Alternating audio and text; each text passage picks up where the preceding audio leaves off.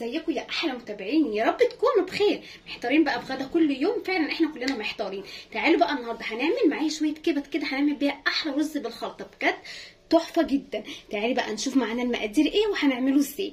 أنا معايا نص كيلو كبد فراخ طبعا الكميه اللي أنت عايزاها.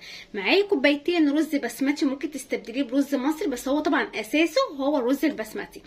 طبعا بتقدري برضو تزودي الكمية زي ما أنت عايزة. طبعا معايا شوربة أي نوع شوربة شوربة فراخ شوربة لحمة أي حاجة. معايا شوية زبيب شوية مكسرات معايا لوز على سوداني. أنت لو سوداني بس مش مشكلة برضو.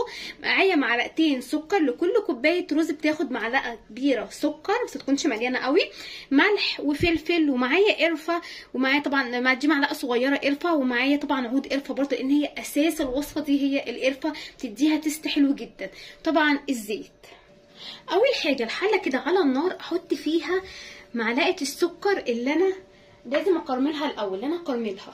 عليها بص يعني شوية مية كده صغننين خالص. وأسيبها بقى كده لحد ما تتكرمل يبقى معايا كده اللون الذهبي دوت. خلي بالك عشان ما تتحرقش منك. وما تقلبهاش بأي حاجة بالحلة كده وهتبدأي تقلبيها. بس اللون ده اللون ده هو حلو جدا. هو عامل زي كده لون الكراميل. اهو قلبيه عشان خاطر ما يتحرقش. بعد كده بضيف عليه الشوربة. متقلقيش هو هيقفش شوية بس بعد كده هيفك معايا. بصي عمل إزاي؟ كل ده هيفك. يبقى لحد ما يغلي. بعد ما المية غليت أهي خالص والكراميل كله داب. بصي اللون الشوربه عامل إزاي؟ بجد حلو جدا. حطي بقى إيه؟ التوابل الأول. اللي هو الملح. ظبطي بقى الملح. ما تكتريش لأن الشوربة أصلا بيبقى فيها ملح.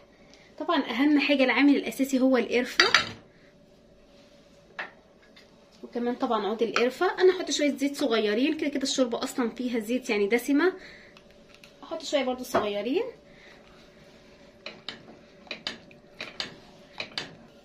طبعا الشوربة غليت كويس جدا. أحط بقى الرز اللي أنا غسلاه ومصفياه طبعا لكل كوبايتين رز أنا بحط تلات آه تلات كوبايات ونص شوربة أو مية وتحطي مرقة عشان يطلع مظبوط. بس أسيبه بقى لحد ما يتشرب خالص. أول ما الرز يبتدي كده يتشرب أروح جاية بقى حاطة إيه؟ حاطة الزبيب. طبعا الزبيب لو انت بتحبي كتير زودي فعلا بيبقى حلو جدا مع الوصفة دي. بس واسيبه بقى لحد ما يستوي براحته. بعد ما سيبنا بقى الرز يتشرب نحمر المكسرات. نقطة زيت بسيطة جدا. أجي بحط المكسرات اللي عندي. أي مكسرات عندك اشتغلي بيها. اخر حاجة الكبدة. طبعا الكبدة بعملها لوحدها. اوعي تحطي الكبدة مع الرز عشان ما تزفرش الرز. حتة سمنة كده صغيرة. حطينا بقى حتة السمنة. الطاسة تكون سخنة معايا. جاية حاطة الكبدة. طبعا الكبدة بكون جايباها وغسلاها ومصفياها أهم حاجة. كويس جدا. أول ما تاخد لون على الوش ده أروح جاية بقى مقلبة. ما اقلبش لما تاخد اللون. بعد بقى خلاص ما الكبده شربت ميتها خالص.